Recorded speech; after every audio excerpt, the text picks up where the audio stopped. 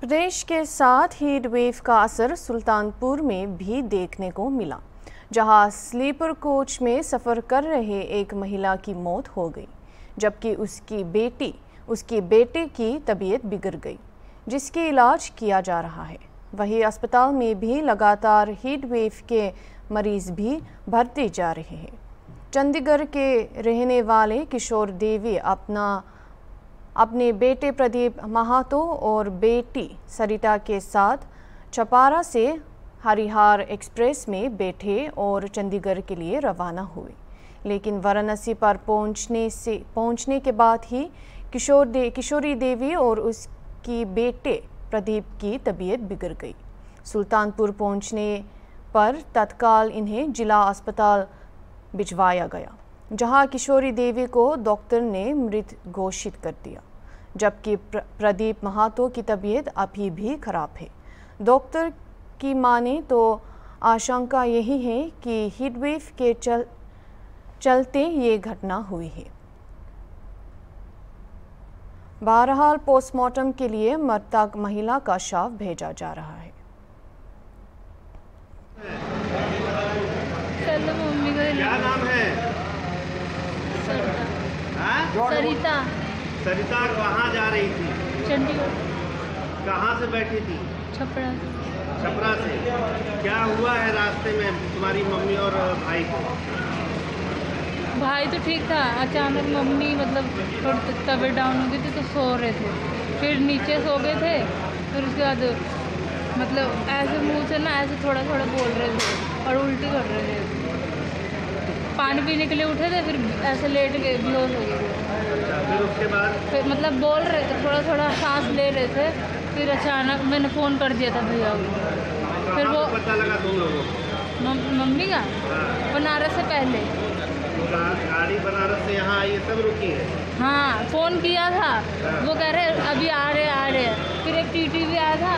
TT कह रहा कि उससे फ़ोन करो क्या बोलते हैं? हेल्पलाइन को तो फिर क्या हुआ?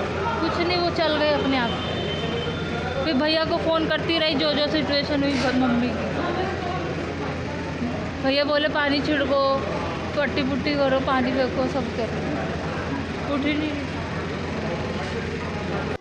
ट्रेन में कोई घटना हुई? क्या है पूरा मामला? ये घटना है कि जैसे कि हमारे एस एस महोदय के द्वारा हमें मिला कि महिला जो है हरियर एक्सप्रेस ट्रेन में काफ़ी सीरियस है, उसको अटेंड किया गया तो हमारा स्टाफ एस आई और सब कांस्टेबल पहुँचे तो पहुँचने के बाद डॉक्टर के द्वारा सीरियस बताते हुए रेफर कर दिया गया हॉस्पिटल के लिए, और वहाँ पर अभी भी सूचना जो प्राप्त हुई है कि जैसा कि हमारा स्टाफ ने बताया एस साहब ने बताया भी मेरी बात उनसे हुई है। तो उन्होंने बताया कि डेथ हो गई है महिला की और उनका एक लड़का जो है वो थोड़ा सदमे में आ गया है तो उसको भी एडमिट करवा दिया गया है। और जैसा भी होगा क्या होगा सर किस ट्रेन से थे किस बोगी में सफ़र कर रहे थे और जैसा भी तो क्योंकि ये मेमो जो हमको मिलता है इस ट्रेन तो यस थ्री में थी वो। और ये जो है सफ़र कर रही थी। छपरा से हाँ हाँ, छपरा से चंडीगढ़ के लिए सफ़र कर रही थी। कौन सी ट्रेन थी? हरियर एक्सप्रेस है ये ट्रेन में। बताया जा रहा है कि बनारस में ही मौत हो गई थी। नहीं ऐसी हमें इस संबंध में कोई जानकारी नहीं है। डॉक्टर डॉक्टर साहब क्या नाम है आपका? डॉक्टर विकास श्रीवास्तव। ये रेलवे स्टेशन रेलवे विभाग द्वारा हाँ एक मरीज़ आया है। मरीज़ का मृत अवस्था में एक शव आया है। तो जो सस्पेक्टेड है कि किस कारण से उसकी मृत्यु हुई है उस वजह से उसको मार्चरी में रखाया गया जा रहा है। और उसका पोस्टमार्टम होगा उसके बाद निष्कर्ष निकलेगा कि क्या कारण है उनकी मौत। का उसके साथ कोई और भी मरीज़ हाँ हाँ उनके साथ जो आए हैं उनके हस्बैंड है। उनके हस्बैंड ही है ना? बेटे हैं उनके बेटे हैं और उनकी भी कंडीशन सही नहीं है। शॉक शॉक में है शॉक में है। कार्डियोजेनिक शॉक है उनको। उसके साथ साथ रेस्पिरेटरी डिप्रेशन में है। तो अभी तो प्राथमिक उपचार हम कर रहे हैं। देखते हैं अगर मैनेज हो पाएगा तो यहाँ रखेंगे अदरवाइज़ उनको आकर हायर सेंटर भेजेंगे हाँ हीट वेव का काफ़ी असर है। अभी अभी तक यहाँ पे काफ़ी केसेस बहुत सारे केसेस आए हैं। एटलीस्ट जो है चार से पाँच डेथ हो चुकी है हीट वेव की वजह से।